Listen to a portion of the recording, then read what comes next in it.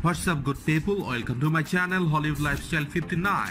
Now we are starting our new house tour video, let's check. Thank you.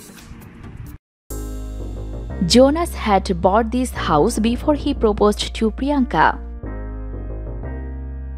Take a tour of the posh space. Priyanka Chopra Jonas, who tied the knot with Nick Jonas, continues to make headlines throughout the year. And for good reason. The two global icons paint the town red and give many of us couple goals with their Instagram feed. After they got engaged, speculations were rife about which part of the world the couple was going to live post their wedding.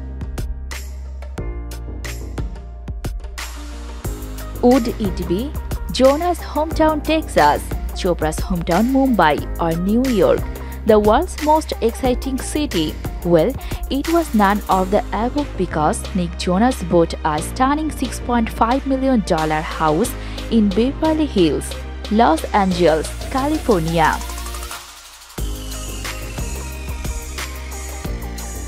While this was the first home the couple lived in together post their wedding, Jonas recently sold this posh LA pad for $6.9 million. The couple is reportedly going house hunting again. While we wait to see what their next purchase will be like, take a look at the sprawling space they called home until recently.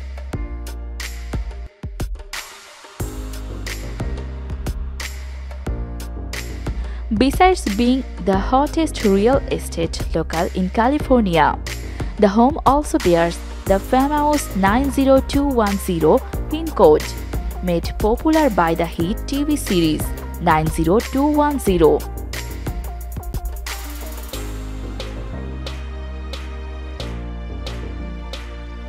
Besides expansive views of the canyon and a breezy air about it, the 4,129 square foot Beverly Hills home has 5 bedrooms, 4.5 bathrooms, a floating guest wing and a swimming pool enveloped by a wooden deck.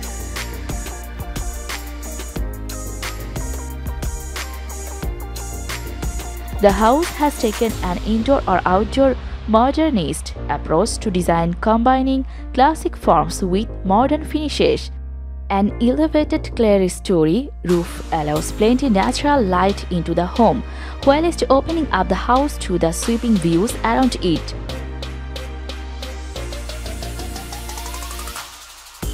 White oak floors, McT wood, dark hematite and soft grey and basaltina stone are prevalent throughout the house, giving it a luxurious vibe fit for its future residents.